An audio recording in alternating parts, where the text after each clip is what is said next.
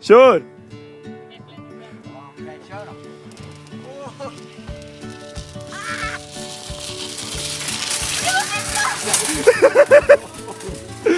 Det där såg ju fan kul ut.